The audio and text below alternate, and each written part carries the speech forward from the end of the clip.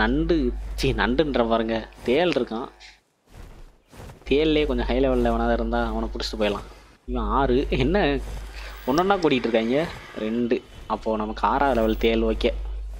சரி இங்கே இறக்கி விட்டுறலாம் அவங்க எல்லாம் அவங்களுக்கெல்லாம் ஒரு புல்லட் போதுங்க அவனுக்கெல்லாம் ஒரு புல்லட் போதுங்க இங்கே பாருங்க. என்ன கைஸ் நம்மளை பார்த்து அக்ரோ ஆகிட்டாங்க வாடா வாடா வாடா.